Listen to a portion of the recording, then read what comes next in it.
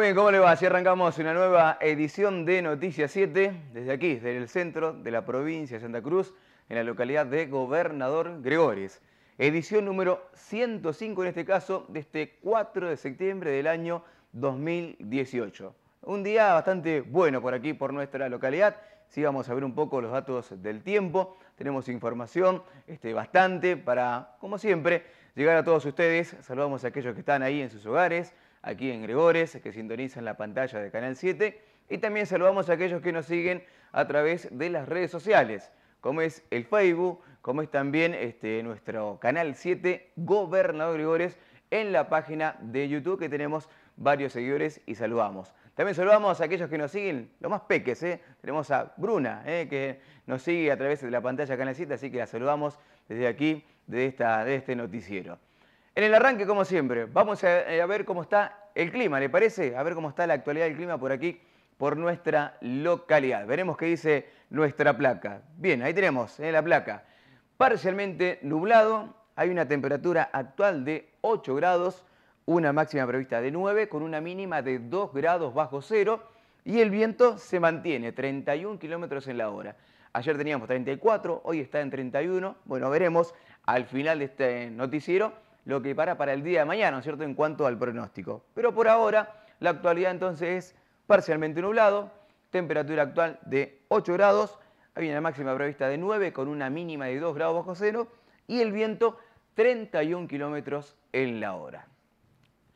Bien, arrancamos con la información, ¿le parece? Tenemos información con lo que corresponde a la cartelería de nuestra localidad. Importante la cartelería para lo que se vendrá, ¿no es cierto?, se viene la época del turismo, la temporada del turismo por aquí, por Gregores, y bueno, a través de una conexión del concejal Eduardo Boldoni, en conjunto también con la gente de Vialidad, del distrito vial de nuestra localidad, bueno, llegaron cartelerías para la dirección de tránsito. Vamos a escuchar las palabras del director de tránsito, Marcos Aguilar, también del concejal Eduardo Baldoni y del jefe del distrito vial de Gregores, Jorge Turineto.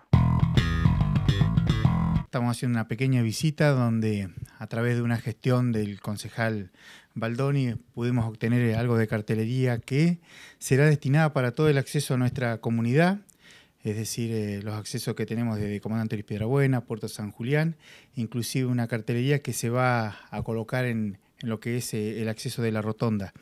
Esta cartelería fue producto de una gestión del concejal Baldoni, que en ese momento él me hace el planteo de la necesidad de poder señalizar los accesos que estaban este, un poco falto de esa cartelería, dado que cada vez que tenemos turismo en nuestra comunidad, o por ahí personas este, eh, que por circunstancia de la circulación eh, se ven sorprendidas que, y dicen, oh, me, acabo de equivocar o, lo que sea, bueno, este, eh, esta necesidad. Entonces él me hace el planteo de qué podemos hacer y él me dice, bueno, yo voy a ver a través de vialidad eh, la necesidad de si ellos nos pueden gestionar esa cartelería que estamos necesitando.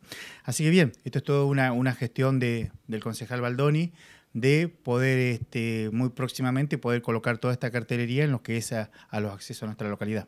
Bien, Fito, otra vez, eh, bueno, tu relación con, con Vialidad, digamos, termina siendo beneficioso para tu gestión y en este caso para toda la comunidad. Sí, Luis, mira, bueno, este, Eh, yo vengo de toda la vida de trabajar en vialidad, entonces sabía más o menos cómo es el, manejo y la buena predisposición que tiene Jorge para, con nosotros. Entonces, esto nació a raíz de una charla que mantuvimos con Marco y hicimos las gestiones para poder este, hoy tener la cartelería esa que, necesitaba tener tránsito para, disponer acá en el pueblo. Bien, Jorge, no es la primera vez que de este, este trabajo en en conjunto articulado con la municipalidad, otra vez se ha sido con turismo, siempre vialidad por esta cuestión de, la cartelería este, está al auxilio del municipio en, conclusión de la comunidad. Sí, sí, por supuesto. Esto es un beneficio para todos nosotros, para todos gobernador Gregores. Eh, ya, se, se dijo Marco, ¿no? La, la gestión del concejal Baldoni. Y por supuesto, él como conocedor de acá eh, ha venido con la inquietud y nosotros le hemos dado respuesta eh, ante la cartelería que se ha solicitado. Por supuesto, esto viene también de la mano de los compañeros de Río Gallegos y del presidente que avala todas estas cosas, ¿no? El beneficio de todos los pueblos de, Santa Cruz. Y por supuesto, estamos colaborando con el municipio como lo, hacemos siempre, trabajando con, eh, entusiasmo para que el transeúnte de, de, nuestras rutas, los que transitan tanto sea turismo como en este caso lo, lo mencionaba Marcos, para que ellos eh, lo hagan con la mayor precaución posible y tengan las señales, en este caso, de tránsito correspondiente. Por supuesto, estos son 22 carteles que han venido de Río Gallegos. Eh, por supuesto que vamos a seguir trabajando con tránsito con el concejal Baldoni eh, para ir mejorando no solamente la, señalización, también todo lo que compete al municipio y de lo que le pueda dar una mano vialidad provincial. Eh, te comento también que el otro día estuvimos eh, trabajando en unas calles, haciendo una prueba eh, con maquinaria vial y bueno, estamos esperando los resultados de eso, de esas dos cuadras que, que se han trabajado para ver si da resultado ese material que hemos incorporado, esos elementos ahí en, las dos cuadras, da resultado para seguir trabajando en conjunto con el municipio y por supuesto con las autoridades que, que tiene representante de nuestro pueblo de Gregores, ¿no? Bien, ¿en qué consiste específicamente estas pruebas y cuál sería el beneficio si todo sale bien? Es eh, similar al trabajo que se hizo en, la, en parte de la Ruta 25, es la incorporación de una mezcla de líquidos eh, para humedecer el material y luego se extendió ese material y se compactó. Eh, esas se, realizaron en la calle Antonio Fernández, así que bueno, hay que esperar los resultados, pero por algo se empieza y empezamos a, ver si da resultado eso para terminar eh, las calles de, Gregores, mejorarlas en ese sentido, ¿no? Hasta que, bueno, venga el, asfalto o lo que sea, ¿no? Fito, desde el Consejo todavía queda trabajo en cuanto a lo que es el ordenamiento de la circulación del pueblo y además de la señalización. Sí, la verdad que queda mucho trabajo. Estamos en eso con, la mejor predisposición en el conjunto de situaciones, trabajando eh, codo a codo con el intendente, con el diputado del pueblo y con todo aquel que se quiera sumar para poder este, mejorar la situación que tenemos en Gregorio. Bien, Marcos, de acuerdo al relevamiento, ¿ustedes cómo están en lo que hace a, esta cartelería? ¿Quedaría mucho más o, digamos, lo indispensable está? Mira, en este momento, eh, con lo que se apunta a esta cartelería es solamente a, todo lo que es el, los accesos a nuestra localidad. Nos está quedando poner toda una cartelería que la tenemos en este momento en el Corralón y que muy próximamente se va a poner. Son unas, unas carteles de, de, contramano, de seda al paso, así que van a ir siendo puestas en, diversas arterias de la localidad. Por otro lado, ya hemos hecho el relevamiento para toda la cartelería de la nomenclatura de nuestras calles, así que eso también está próximamente a, ir este, poniéndose.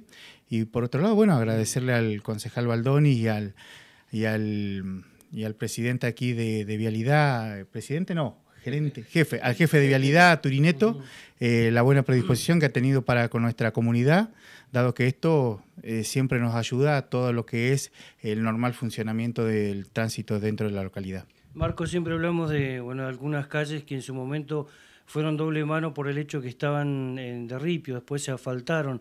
Eh, ¿En eso también trabajarán en conjunto seguramente con Baldoni? Sí, esas son todas, este, ¿cómo se dice?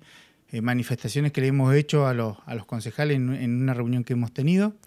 Eh, pero bueno, eh, como bien sabe nuestra comunidad, en este momento tenemos un conflicto de poderes con lo que es el Consejo Deliberante con el Ejecutivo, así que hasta que no se resuelva esa situación, esas son modificaciones que se van a llevar a cabo mediante ordenanza, así que hasta que esa parte legal no esté eh, solucionada, no, no le vamos a poder dar ese, esa manifestación o esa necesidad que tiene nuestra comunidad y que distintos vecinos nos han pedido poder solucionarlo. Fito, en caso de que surja la necesidad desde la Dirección de Turismo también, articularán y harán alguna charla para ver eh, en qué puede aportar eh, tu relación con Vialidad para la cartelería que pueda llegar a necesitar el turismo. Sí, Luis, mira, nosotros estamos abiertos para trabajar con todos. El que, el que quiera trabajar y lo solicite, ahí estaremos, este, con la mejor predisposición. Bien, Turineto, muchas gracias por la información. Esto gracias a ustedes y bueno, a disposición de toda la comunidad. Bueno, cambiamos el rumbo de la información y vamos en búsqueda de una nueva feria artesanal. Sí, este fin de semana se viene una nueva feria artesanal, como siempre, muchos artesanos que van a visitar, la oportunidad para los vecinos de Gobernador Grigores de poder adquirir algún producto, ¿no es cierto? En este caso, dialogamos con el coordinador de estas ferias, él es Ángel Pérez. Ángel, em, es habitual en el mes de septiembre una, una expoferia que se realiza siempre previo, digamos, a lo que es la, feria del aniversario de Puerto San Julián. Por lo tanto, reúne a mucha gente y a muchos artesanos eh, de, todo el país. Ya está con fecha eh, prevista y están trabajando en la organización de esta nueva feria. Sí, la fecha que se colocó fue 7, 8 y 9 de septiembre, es una semana antes de la de Puerto San Julián. Eh, ya tenemos confirmado varios artesanos de distintas partes del país. Estamos alrededor de los 30 artesanos que están viniendo, que están confirmados de distintas partes. Y bueno, más los artesanos de nuestra localidad y de la provincia, ¿no? Así que bueno, van a haber rubros de, todo tipo, o sea, de madera, de mate, chocolate, chacinado, de, bueno, de todos los que vienen de, afuera. Son artesanos por ahí nuevos que no los hemos tenido nunca en nuestra localidad. Así que yo creo que va a estar buena. Es una de las más grandes que siempre se, se hace porque después vienen, participan de la Expo Grande de Puerto San Julián. Bien, de todas maneras, eh, después de tantos años de organización, em, tratan de manejar, digamos, un cupo de artesanos para tener cubierto todos los rubros y por allí algunos rubros nuevos que no han venido, como decías vos. Sí, la idea es no superar el tema de los dos rubros, o sea, de, dos artesanos con el mismo rubro. Eh, que vengan dos de, chacinado, dos, dos, de chocolate, porque si no tampoco le sirve a ellos y tampoco sirve para la organización nuestra, ya que por ahí son muchas cantidades y tenemos que andar dividiendo los, los estanes, quedan espacios muy chiquititos, se amontona mucho en el tema del, salón, entonces la idea es que poder meter no, no más de, de, 60 puestos, que es lo que podemos llegar a armar bien y que quede lindo. Eh, seguramente estarán trabajando en la posibilidad de algún eh, número musical para esas eh, dos o tres noches de feria. Sí, eso sí, ya lo está viendo Marcelo por el lado de cultura, que lo, hacemos en conjunto con la Dirección de Cultura y la subcomisión del festival. Y bueno, sí, la idea es ponerle el día, el día viernes y el día sábado el tema de los shows, como siempre hace Marcelo, musicales y, y gente de nuestra localidad. Ángel, si todavía hay gente interesada en participar, ¿se puede comunicar con ustedes? Sí, sí, todavía no hay ningún drama, están abiertas las inscripciones, así que bueno, se pueden comunicar, no hay ningún drama. Bueno, en este caso vamos a ir en búsqueda de un poco de la información que tiene que ver con lo escolar. Eh, hay una situación que se vive en la Escuela Agropecuaria número 1, hay una sentada, así lo han denominado, los alumnos de esa institución haciendo un reclamo que tiene que ver con los choferes para eh, los colectivos que tiene la Escuela Agropecuaria. Aquí dialogamos con la rectora de la institución, Vilma Carrasco. Bueno, esto es algo que se han juntado los alumnos y realmente en colaboración también a todas las gestiones que se hace desde el equipo de conducción debido a esta poca respuesta seguramente que hemos tenido en este tiempo. Y bueno, y uno viene todos los días sin ningún problema, pero lo perjudicado son los alumnos debido a las bajas temperaturas que se han vivido en la zona también Ahora va a venir el verano, pero si seguimos con esto, tenemos una matrícula de 240 alumnos, de los cuales 60 alumnos son de los internados y el resto es todo de la localidad y deben asistir permanentemente el traslado que deben hacer de estos 5 kilómetros de la localidad a la escuela y viceversa. Recordemos el porqué de este, este problema, cómo, cómo, surge, cómo, surge, ¿no? En este caso, ustedes eh, recordarán, hubo una situación de conflicto laboral antes del receso invernal, donde realmente se solicitaba algo por parte de los choferes. Nuestra institución cuenta con tres choferes, el resto en su momento habían más cantidad, pero fueron choferes que se fueron jubilando o en otro momento también se van a seguir sus trabajos eh, en la municipalidad de nuestra localidad. Entonces, de educación son tres choferes. Eh, una semana trabajan dos choferes cubriendo la carga horaria de 6 de la mañana a 20 horas y la semana, como la que estamos justamente ahora, es de un solo chofer, cubre toda también esa carga horaria, eh, solamente un solo chofer. Lo que se solicitó fue tratar de ver a ver si se podía cubrir con otro chofer, pero también eh, hacer un contrato, buscar otra persona más para los francos, porque ellos trabajan de lunes a viernes de 6 de la mañana a 20 horas, y cubrir los fines de semana y los francos, porque de esta forma hasta ahora no se pudo solucionar el tema tampoco de que haya una frecuencia de colectivos para los alumnos del internado. Y hasta el momento no hay respuesta. Hasta el momento no hemos podido solucionar este tema. Sí se ha realizado como pequeños parches porque se lo ha molestado a la municipalidad, que como siempre ha estado pendiente de todas estas situaciones. En su momento cuando no pudimos trabajar con los colectivos nuestros porque estaban con alguna situación, eh, bueno, también cubrieron con colectivos de la municipalidad, pero me parece que bueno, ahora es una necesidad más que imperiosa que tienen los alumnos y es por eso esta medida de fuerza. ¿Y esta medida de fuerza hasta cuánto durará? Ellos dicen que hasta tanto se solucione. Eh, a mí me, corresponde informar a las autoridades, por supuesto. Eh, igualmente ya se las venía como adelantando por parte de los alumnos y del centro de estudiantes de que esto iba a ser así, sino de no existir una solución. Y bueno, y hoy lunes eh, también pasó lo mismo, a las 7 de la mañana hubo que hacer dos, viajes eh, seguidos y rápidos, eso significa que por ahí puede eh, llegar a haber algún inconveniente. Entonces los alumnos a partir de las 9 de la mañana, ellos se convocaron, ellos están de acuerdo y, y es a cabo esta medida que se está llevando. También esto va a surgir entonces en el horario de la tarde. Sí, recién estuvimos una reunión con los alumnos del centro de estudiantes. Eh, ellos fueron firmando también y decidiendo a continuar con esto. Algunos se van a quedar creo que al mediodía. Eh, lo único que se solicita eh, es esto, que a veces los adultos estamos actuando mal, ¿no? Hay muchos padres que ya han venido a retirar a sus hijos y me parece que es una causa que no es eh, solamente para conseguir un colectivo para los alumnos que están en el albergue. Esto es de todos los días y por la gran cantidad de viajes que se realizan es necesario que todos estemos eh, apoyando esta justa medida de los alumnos de la Escuela Agropecuaria.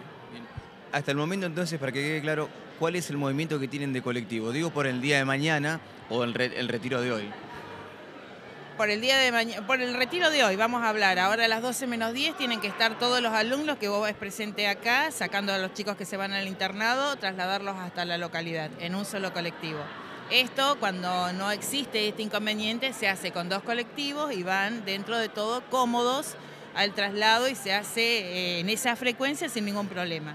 Esto sucede lo mismo a las 13.15, que viene el colectivo de la localidad, y comienzan a las 13.30 nuevamente las actividades de aula. Eh, después en el medio hay algunos viajes también, porque hay chicos que quedan libres por la cantidad de horas o de espacios curriculares que tengan en la semana. Y nuevamente a las 16 y 10 que se retiran todos los alumnados, todo el alumnado, en este caso está el problema de que tenemos que acortar algunas horas, eh, tratar de, achicar un poco más su carga horaria frente a, los docentes para que ellos puedan trasladarse sin ningún problema. Bien, entonces, bueno, sentada en la escuela agropecuaria. Sentada en la escuela agropecuaria.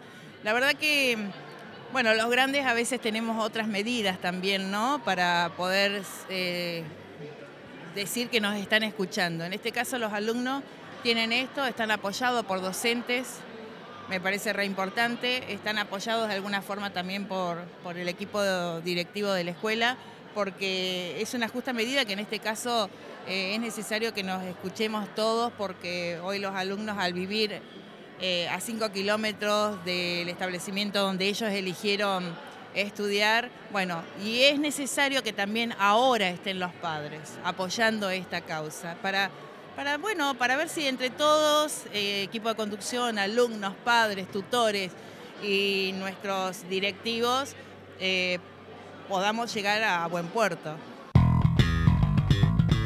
Bueno, y en esta oportunidad también pudimos dialogar con uno de los alumnos. Él está integrando, él es el vicepresidente eh, del Centro de Estudiantes de la Escuela Agropecuaria. Él es Tomás Uribe y también nos da detalles del porqué justamente de esta situación. La medida se tomó eh, en base a, la votación que hicimos en general con los chicos del centro por el tema de que eh, hoy en día está faltando el colectivo del el, servicio de colectivo. el colectivo está, pero ¿qué pasa? Hay tres choferes que ellos tienen que hacer rotaciones eh, por semana. Hay dos choferes por semana eh, pero eh, serían dos choferes una semana, dos choferes la otra semana, y, pero ¿qué pasa? Falta un chofer, porque hasta el día de la fecha son tres choferes los que hay.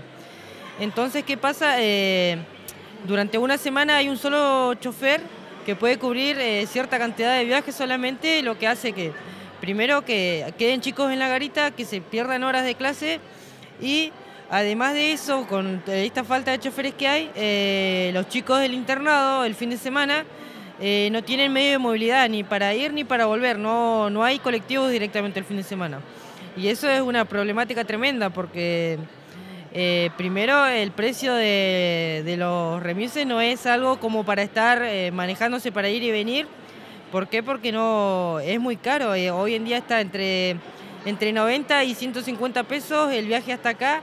Y póngase a pensar que el que baja tiene que volver después y si no encuentra con quién o si quedamos a la buena de Dios para ir y venir. Así que bueno, esto se hizo en base a, la decisión de todos los chicos. Eh, fuimos pasando haciendo votación por, aula, en todas las aulas se votó un 100%, todos los chicos de todas las aulas quisieron que se haga la sentada pidiendo el colectivo. Y bueno, hoy estamos haciendo la sentada. Esperemos que se pueda dar una, solución eh, con esto.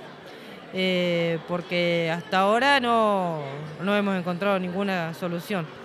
Hoy, se encuentra en el 100% del alumnado aquí en la institución, se han retirado algunos.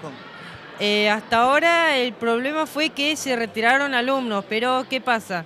Eh, que lo que queremos, a lo que queremos llegar es que los padres se comprometan, no que lo vengan a buscar al chico, sino que vengan se enteren de cómo es la situación, porque si somos 30 locos que estamos acá haciendo sentada, eh, no es justo que estemos 30 de nosotros y el resto después goce de los beneficios.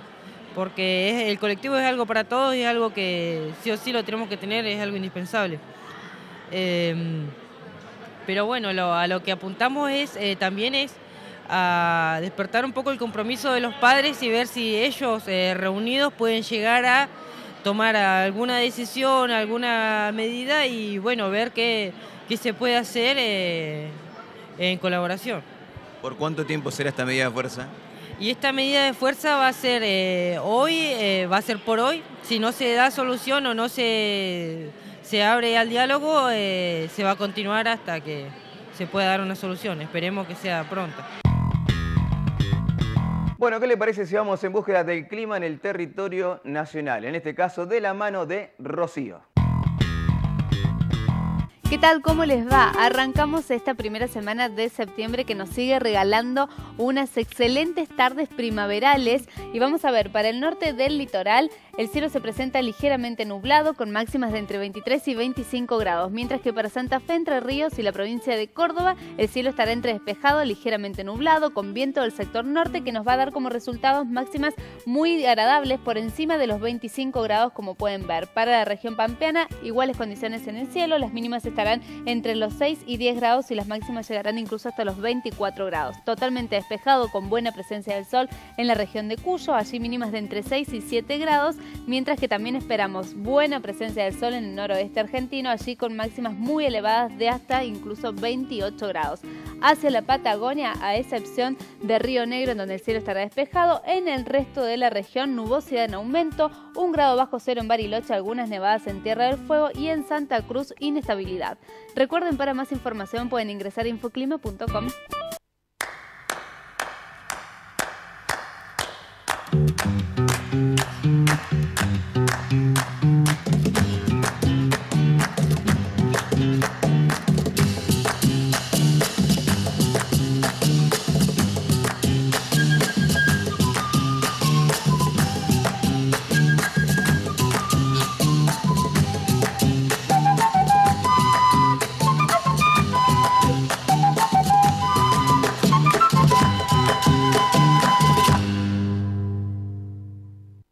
castración reduce la superpoblación.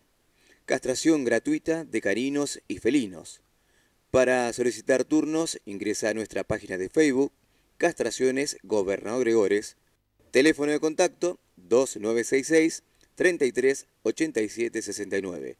Lugar, Corralón Municipal, martes y jueves de 10 a 12 horas. Y después de compartir el clima en el territorio nacional, vamos a ver qué es lo que nos dispara eh, en cuanto al destino del el clima. Atención, pronóstico extendido para el día de mañana aquí en nuestra localidad. Veremos, a ver qué dice la placa. Pronóstico para mañana entonces en Gobernador chubascos dispersos. Mirá vos, ¿eh? Hay una máxima prevista de 10 grados con una mínima de 2 grados y el viento baja un poquito la intensidad, 23 kilómetros. Pero atención, para mañana chubascos dispersos para aquí, para el centro de la provincia de Santa Cruz. Llegamos al final de la edición número 105 de Noticias 7. Nos vamos a reencontrar en el día de mañana, como siempre. El saludo para aquellos que nos siguen a través del Facebook, aquellos que nos siguen a través de la página de YouTube, nuestro canal 7 Gobernador Gregores. Y también aquellos que están ahí, del otro lado de la pantalla de Canal 7, los vecinos de nuestra localidad. Nos vamos, será hasta el día de mañana. Muy amables.